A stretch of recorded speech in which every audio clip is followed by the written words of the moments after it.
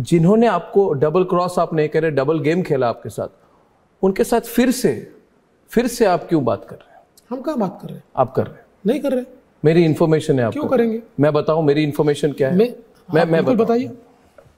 मेरी इन्फॉर्मेशन है कि शरद पवार जब सुप्रीम कोर्ट की वर्डिक्ट आने वाली थी एकनाथ शिंदे गुट को लेके कि उनको डिस्qualify किया जाएगा या नहीं किया जाएगा ये मेरी इन्फॉर्मेशन है फडणवीस जी और मैं खुलकर आपके सामने रखूँगा हाँ, आप इसको।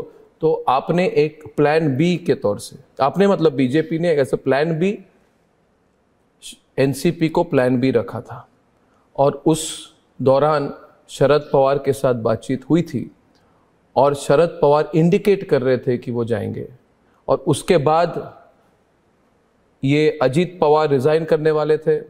उसी समय में और फिर शरद पवार ने रिजाइन कर दी फिर अजीत पवार पे प्रेशर डाला और फिर शरद पवार ने अपना अप्रोच चेंज कर लिया।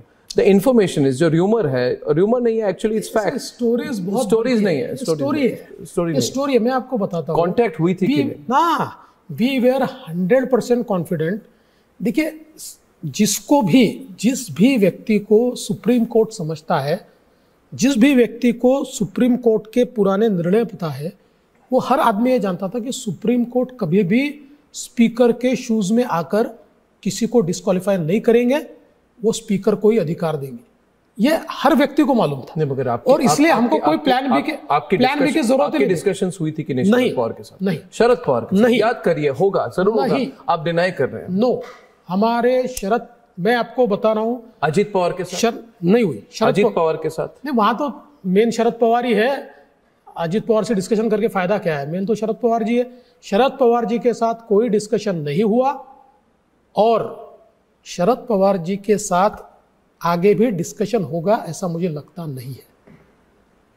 वो तो अभी है क्योंकि उन्होंने अपनी अप्रोच चेंज कर ली है क्योंकि वहाँ पे वहाँ पे चेंज हो गया है। मैं नहीं ये ये ये द इंफॉर्मेशन जो मेरे पास है कि शरद पवार आपके साथ जाने वाले थे प्लान भी थे और उसके बाद उसके बाद उसके बाद उसके बाद उसके बाद प्रफुल्ल पटेल के साथ भी बातचीत हुई थी वो बातचीत में थे मगर जब डिस्कालिफिकेशन नहीं हुई उसके बाद सुप्रिया सुले ने प्रेशर डाल दिया और अजीत पवार अभी डिसाइड नहीं कर पा रहे किस साइड पे जाए देखिए ऐसी स्टोरियाँ बहुत बनती है आपको भी पता है मार्केट में बहुत चीज़ें चलते रहती हैं लोग एक दूसरे से बात करते थे हमारी शरद पवार जी से कोई बातचीत नहीं हुई थी। किस दौरान? जब ये रिज़ल्ट आया सुप्रीम कोर्ट का अ, हमारे जो डिस्कालिफिकेशन वाला वर्डिक्ट आया हम्म, कोई भी बात नहीं आप इंसाइट कर रहे थे अजीत पवार को आप सपोर्ट लेने को तैयार है अजीत पवार। क्या एनसीपी आपकी प्लान भी नहीं थी? बिल्कुल नहीं। पार्थ पवार एकनाथ शिंदे को मिले 26 जनवरी को।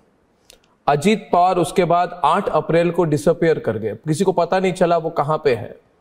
मीटिंग्स हो रही थी उस समय और उस समय उन्होंने स्टेटमेंट्स देना शुरू किया कि ईवीएम्स में आपको सपोर्ट किया। तीन चार स्टेटमेंट्स उनके आए जिसमें उन्होंने बीजेपी का समर्थन किया। और 12 अप्रैल को ईडी ने ईडी ने अजीत पवार के खिलाफ जो एमएससी बैंक स्कैम है, उसमें उन्होंने चार्जेस ड्रॉप कर दिए। उसके बाद 13 अप्रैल को आपके और शिंदे जी के साथ अजीत पवार की मीटिंग हुई। तो मैं आपको बहुत डायरेक्ट सवाल पूछ रहा हूँ, फडणवीस जी, क्या एनसीपी और एनसीपी में भी क्या अजीत पवार इन पर्टिकुलर आपके बैकअप प्लान है या थे? हमारा बैकअप प्लान कोई हमने तैयार नहीं किया था क्योंकि हमको बैकअप प्लान की आवश्यकता ही नहीं थी। आवश्यकता ही नहीं थी। हमने कोई बैकअप प्लान तैयार नहीं किया था। अजित पवार मिलते हमको प्रॉब्लम क्या है? अरे वो विरोध विपक्षी नेता है। मुख्यमंत्री और उप मुख्यमंत्री को विपक्षी नेता नहीं मिलेंगे तो कौन मिलेंगे? और खुलेआम मिलते हैं। ऐसी कोई प्रॉब्लम नहीं है। खुलेआम मिलते हैं। और हमारे ऊपर हमको क्रिटिसाइज भी करते हैं। हम भी उनको क्रिटिसाइज करते हैं। लेकिन ये बात ज़रूर है कि महाराष्ट्र में हमेशा एक डायलॉग रहा है। सिर्फ़ उद्धव जी ने डायलॉग बंद किया। नहीं तो महाराष्ट्र में कौन सा? सारी पार्टियों में डायलॉग रहा है।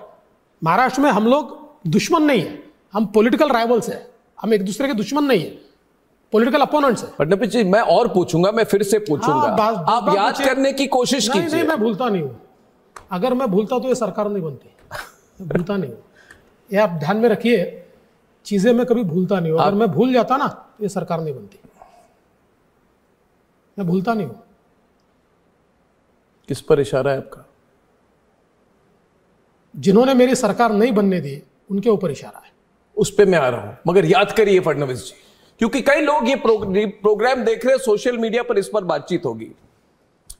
तो मैं आपको मैं आपको कह रहा हूँ कि एक जमाना था 9 अप्रैल को there was a time on ninth April Fadnavis ji you are a master politician एक टाइम था जब अजीत पवार अपने पार्टी के नेताओं के साथ बात कर नहीं रहे बात नहीं कर रहे थे। मगर उन, वो सह्याद्री गेस्ट हाउस में आपके और एकनाथ शिंदे के साथ मीटिंग कर रहे थे 9 अप्रैल को। और मुझे लगता है कि, मुझे लगता है, जो मेरी असेसमेंट है कि you are going to open up the Ajit Pawar card sometime in the future अभी मैं आपको बताऊँ, कल सुबह मेरी शरद पवार जी से बात हुई, परसों भी मेरी शरद पवार जी से बात हुई। हमारी बातचीत होती है। पवार साहब ने कल खुद फ़ोन किया था मुझे, किसी और मसले पर किया था। तो ऐसा यहाँ महाराष्ट्र में वो हम लोग मिले इसका मतलब उसका कोई अर्थ नहीं है। कल मैंने शरद पवार जी से बात किया और सात आठ मिनट बात दस मिनट बात हुई हमारी। आपसे तो वो बात करेंगे उनको डर है कि वो आप, आप उनकी पार्टी को फिर से तोड़ने नहीं नहीं पवार साहब बहुत मंजे हुए खिलाड़ी है इतना आसान थोड़ी होता है कोई पार्टी तोड़ना।